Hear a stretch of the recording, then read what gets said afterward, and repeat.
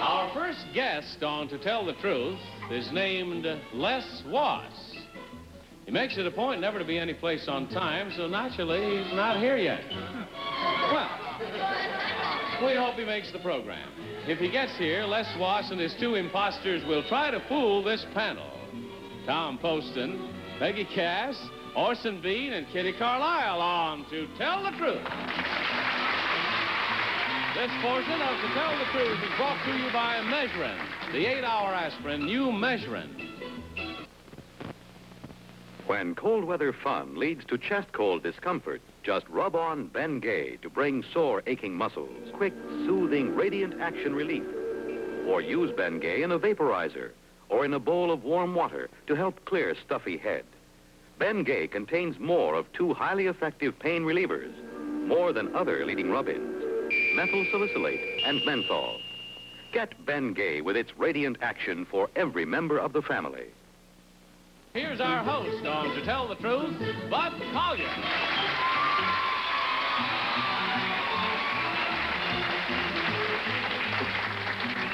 Thank you, and welcome again to To Tell the Truth. Good afternoon. Good afternoon. Betty and all.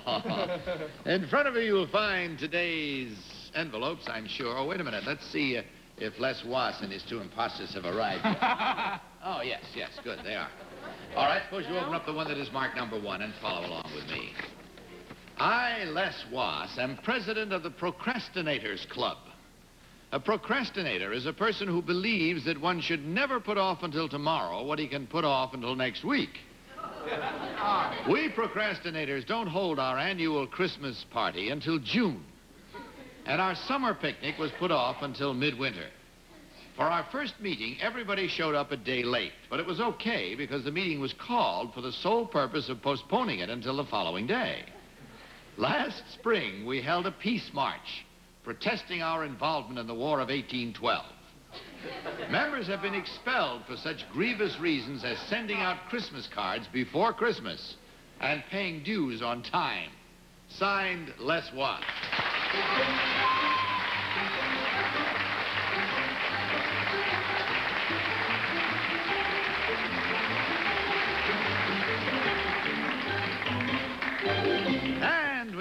We'll the questioning about Les Wass with Peggy Cass. It's not awfully. Uh, number three, when you get your appointment book for 1967, will you buy an old 1966 one or something? I haven't thought about 1967 yet. I see. Uh, number one, are you for or against women's suffrage? Never heard of it. Well, number two, what year is it in your head? 1965. 1965, well, we're not. Now, number three, supposing you ripped your suit, like your elbow went through, would you mend it right away, or would you wait a year or two until you were really threadbare? Well, I'd probably think about having my, my girlfriend uh, stitch it uh, a year or two from now. I see. Number one, are you married? No, I'm not. Are you married too? Yes, I am. Did you stand her up at the first wedding? I mean, how many times did it take you to show up? It took quite a while.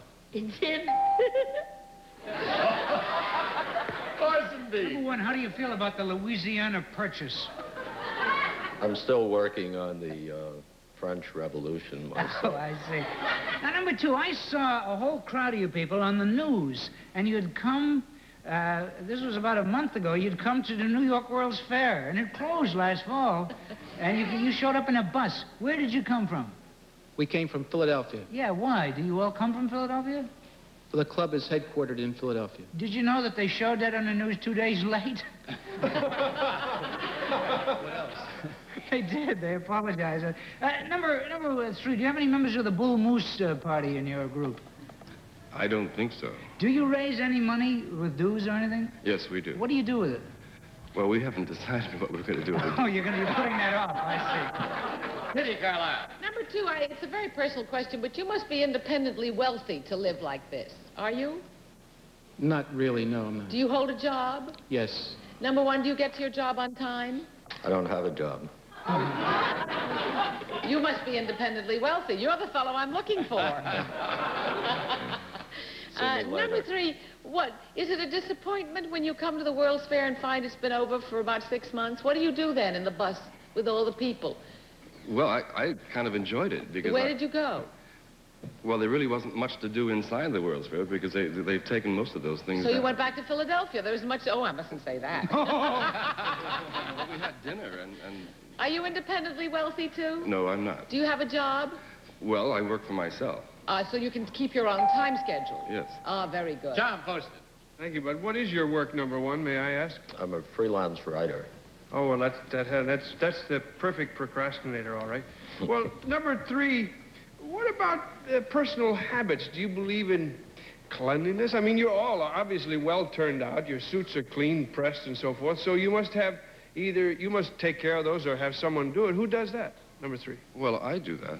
I, You believe in cle personal cleanliness, right? of course. Oh, well, I mean, the body doesn't know about procrastinating schedules. It needs to be clean and taken care of. I'm glad to see that he doesn't go along with that 100%. Number two, what's the purpose of procrastinating like this? Uh, general relaxation uh, resulting from doing things later. Okay, number one, how about personal bills, if you have such things? Do you meet them on time, your obligations along those lines? I usually make a neat pile of them.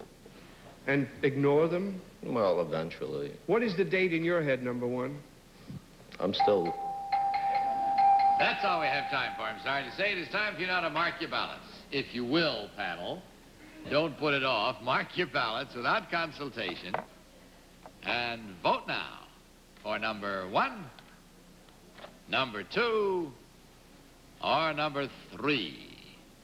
Team of challengers will get, of course, $100 for each and every incorrect vote. All ballots marked?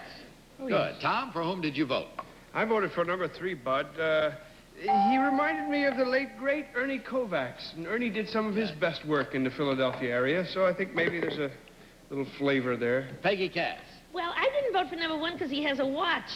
Anybody that wears a watch would be putting things off. And I didn't vote for number three. I, I voted for number two. I like his smile. What? He's got a I wonder watch, what too. I wonder what number one's watch says. It's probably stopped. Orson Bean. I had to vote for two. I think he has a twinkle in his eye that uh, bespeaks of a man with a, with a sense of humor. Your number two hasn't quite made it. He's yet. late, yes. Kitty.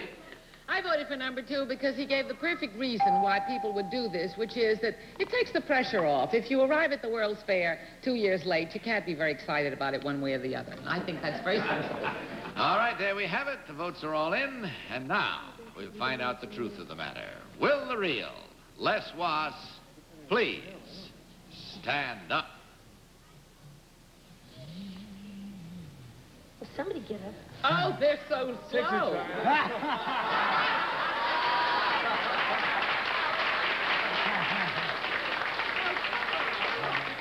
All right, I'll give you 10 seconds to get up, and if you don't, you get off the stage. One, two, three, four, five.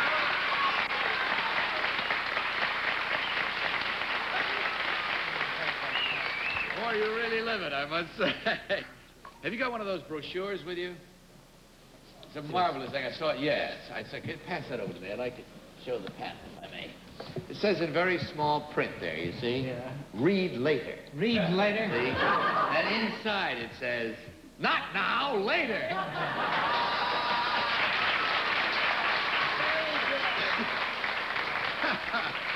Number uh, one, what is your real name and what do you do, sir? My name is Stan Bloom, and I'm an art director with Altman, Stoller, and Chalk Advertising. Thank you, sir. And number three, what is your real name and what do you do? My name is Richard Kiosian, and I'm personal manager to Metropolitan Opera star Lucine Amara.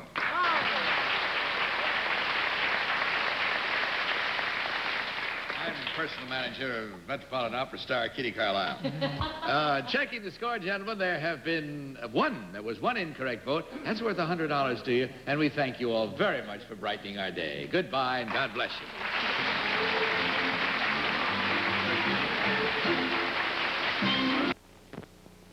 From the valley of the jolly. Ho, ho, ho. Green giant, good things from the garden, garden in the valley, valley of the jolly green giant. Summer green, snapped and fresh, kitchen sliced to taste their best.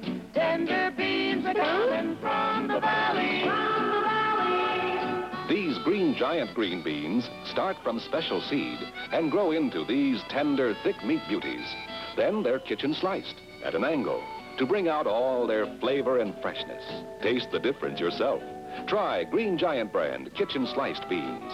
And if you prefer, you can get the Green Giant's French-style beans, too. Good things from the garden, garden in the valley, valley of the jolly. Ho, ho, ho. Green giant.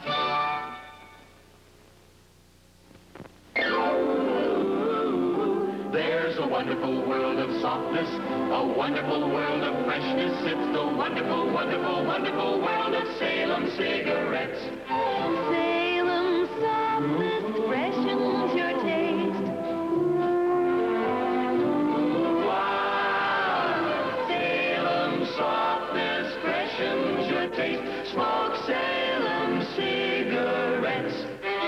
Salem gives you a modern filter, plus rich tobacco taste, smoothed with menthol, softened with fresh air.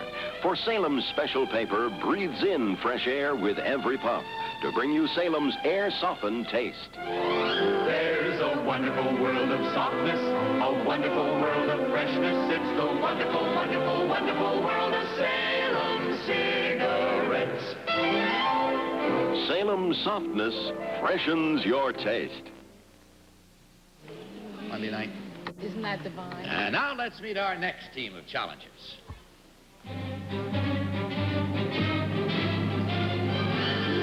One of these ladies is an internationally recognized authority on tropical fish.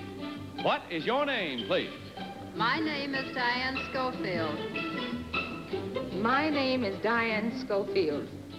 My name is Diane Schofield. We'll find out more about Diane Schofield in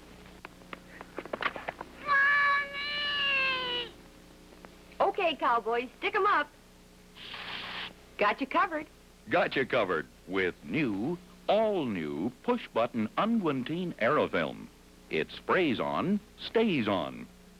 Sprays on a medicated protective film that stays on. Fortified with germ killers to help prevent infection and pain stoppers to relieve pain. For cuts, scrapes, and burns, new unguentine sprays on, stays on. For sunburn pain, new unguentine sprays on, stays on. Takes the itch out of insect bites, too. For all everyday skin injuries, just stick 'em up. Got you covered with new push-button unguentine aerofilm from the makers of unguentine ointment and unguentine squeeze spray. Be active, feel young. Join America's swing Millions of Americans are doing just that. They eat well, but wisely, with Mazola corn oil and Mazola margarine. Mazola corn oil because Mazola cuts down saturated fat in the diet. In delicious salad dressings and tender, juicy fried foods, Mazola cuts down saturated fat when used instead of some more saturated fats and oils. There's no more delicious way to eat well, but wisely. Mazola margarine because the pure liquid Mazola corn oil in Mazola margarine has less saturated fat than the hydrogenated oil most other margarines use. Yes, less saturated fat. And Mazola margarine has a light, golden, delicious flavor that makes everything taste its Sunday best. So eat well, but wisely. Cut down saturated fat with Mazola corn oil and Mazola margarine. Very well, panel. Open up your next envelope, if you will, please, and follow along once more. I, Diane Schofield, am an expert on tropical fish. I have traveled to 85 different countries to collect my specimens. For a time, I even hatched some species on a commercial basis. I write articles and lecture on tropical fish and am an authority on such interesting species as the stonefish, so called because of its appearance, the lionfish, often called the turkey fish because it seems to have feathers, and one finny fellow called Sternarchus albifrons, commonly known as the ghost fish. I also am, am a fish photographer and often am called upon to exercise my knowledge of fish as a judge at major fish shows. Signed, Diane Schofield. This portion of To Tell the Truth was brought to you by Measurin, the eight-hour aspirin you Measurin. The next portion of To Tell the Truth is brought to you by Lipton, the tea that comes on brisk. And let's start the questioning with Kitty Carlisle. Oh, thank you, Bud. Uh, number one, what are the fish that you put in a tank that, that eat up the garbage in the tank? Oh, there's any number of them that will. Well, what?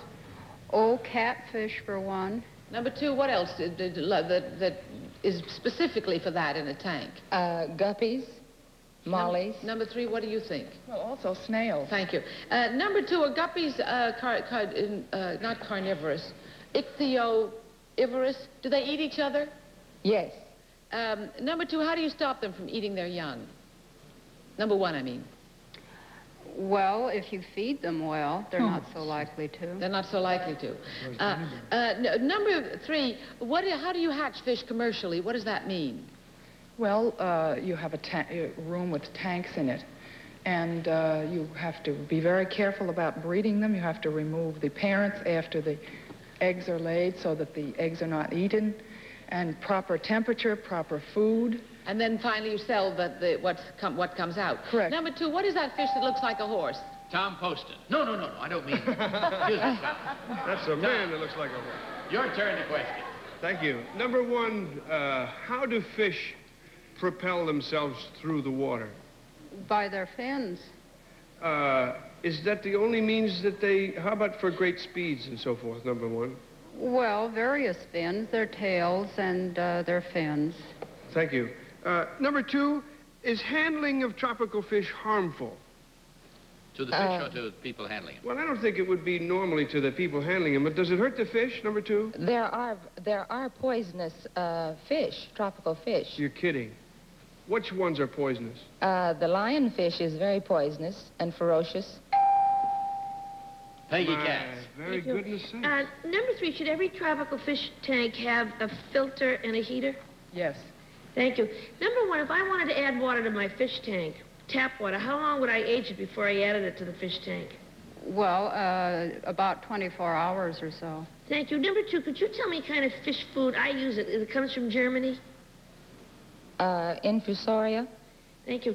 Uh, number three, what kind of plants do you recommend for a fish tank? hornwort or duckweed. Thank you. Number one, if I wanted to buy a neon, how much would it cost? Well, it depends on uh, the shipments at that time. Oh. Orson Bean. Number two, one of those little plastic divers at the bottom of the tank that the bubbles come up, does that do anybody any good? Outside of the aesthetic beauty of it. Uh, no real no real value. It's It doesn't beauty. pump water, air into the water? Well, of course, you have to have a filter Yeah. in the tank. And what, what- do fish breathe air through the water or what? Uh, some of them have to go to the top for air. Yeah. Number three, uh, do you agree with number two about the, the, the lionfish being so mean? Well, actually, it's not mean. It's just poisonous. Yeah, poor thing. What does he give you, A warts, or can he really no, it can kill you. Kill you? Yes. In other words, you reach in there, say, hello, little fish, you pet him, and he, You he's don't. on you? You don't? He's, how big is he? Oh, uh, I would say about this big. Oh, mercy. He'd take your arm off, couldn't he? Number one, now, are snails fish or No. bugs? What are they? Uh, That's all You we can have answer time number one. for, I'm sorry to say. You denied your own birthright there, Orson. You said warts instead of watts. What? Mark your ballots, if you will, please, at once without change and, of course, no consultation. Just vote now for number one, number two, or number three. Ballots all marked. All right. Tom, for whom did you vote? Well, several people in the audience called out three, but I voted for number one anyway. I thought she was just sweet enough and dear enough to take an interest in our little finny friend. Oh. Peggy Cass. Oh, well, I voted for three. I happen to have a fish tank, and she, she answered everything absolutely right. Orson. I thought one and two were both sweet enough to take an interest in our little finny friends, but three looks like she knows there's a good buck in it. And, uh, Kitty Carlisle. Well, I like number two's answer about the fish food. Was that right, Peggy? Yeah, the it fish was. food? Oh, well, I thought it was a good answer. but nevertheless, it didn't fool me, I don't think, because I voted for number three. Uh, I voted for number three because I was trying to find the word snail when I asked the other two about what cleans the bottom of the tank, and number three told me it was the snail. Catfish do too, though. Do they? Oh, my. So, there we have it. We'll find out which one, in truth, is Diane Schofield. In- Boy, what a day for a picnic. Hey, you're spraying stars on my sports shirt. That's right, dear. Watch. And the next thing I knew, they went, Sue, you're spraying stars on that blouse. That's right. That's what's in this can. Watch. Yes, the star of modern starches, new faultless spray-on starch. Call them faultless stars of freshness or faultless stars of fashion. Whatever you call them, they add a star-sought shield of cleanness to every fiber they caress to help all the clothes you iron, even modern fabrics, stay neater, look fresher longer, and they iron easier, too. Great idea, Sue, spraying those stars on my shirt. Sure feels good. Mm, looks good, too. Try it yourself. Today's star of modern starches, faultless spray-on starch. Panel of votes are all in, and Tom voted for number one, and Peggy, Orson, and Kitty, the rest of you all voted for number three. So let's see now which one of these ladies, in truth, is an expert on tropical fish. Will the real Diane Schofield please stand up?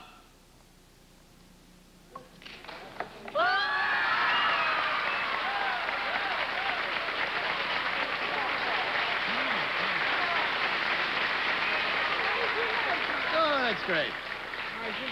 Good job. Did you start this just as a hobby? Just Uh, raising a few? No. I majored in zoology, and then I specialized in tropical fish, and it uh, went on from there. I see. My Do they use it with their fins? I thought they push themselves with their tails. Well, it depends on the fish. They can do both. They use their caudal or their tail fin, some of them, and um, some of them ventral, some You of can them find out more of this a little bit later. We haven't got too much time left right now. Number two, what is your real name and what do you really do? My name is Lee Harlow, and I sing opera at the Astor Restaurant in New York City. And number Three, you got most of the votes. What is your real name and what do you really do? My name is Joan Bebry, and I'm an, I'm an executive for the Bebry Betting Corporation in New Jersey. Own it. Thank you. And the score, you did well. And three incorrect votes, that's three times a hundred dollars, three hundred dollars, ladies, coming your way. Together with our thanks, of course, for being here today. Goodbye and God bless you.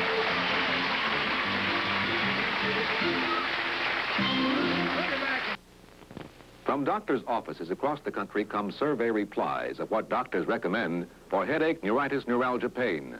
Three out of four doctors recommend the ingredients in Anacin. Doctors know with most headaches, pain mounts up. You feel dull, depressed. Tension puts nerves on edge. Now, aspirin has just one pain reliever. Add buffering, you still get just one. Only Anacin of the four leading headache remedies has special ingredients to relieve pain fast, help overcome depression fast, relax tension fast.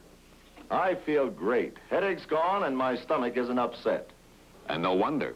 Anacin is like a doctor's prescription. That is, a combination of ingredients, a particular combination that brings fast relief without upsetting your stomach. Remember, aspirin, even with buffering, has only one pain reliever. Take Anacin with ingredients three out of four doctors recommend. Anacin for fast, fast, incredibly fast relief. That's all we have time for today, except I do want to say, and very sincerely, a very Merry Christmas to you all. Goodbye, panel. See you Monday. See you Monday, too. In the meantime, don't you forget to tell the truth. This portion of To Tell the Truth was brought to you by New Dove Traditions, made to be safe even for dry problem hands. To Tell the Truth is a Mark Goodson, Bill Todman production. Johnny Olson speaking. This program was pre-recorded.